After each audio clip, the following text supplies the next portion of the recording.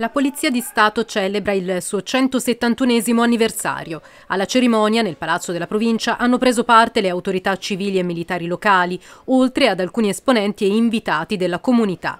Dopo i saluti, il questore Dario Sallustio ha voluto ringraziare i poliziotti lucchesi, sempre presenti accanto a cittadini e persone in difficoltà, garantendo sicurezza e legalità. Sallustio, assieme al prefetto Francesco Esposito, ha poi consegnato gli attestati di riconoscimento al personale della polizia, distintosi per particolari meriti di servizio. L'evento è stato anche l'occasione per presentare un bilancio dell'attività svolta sul territorio nell'ultimo anno.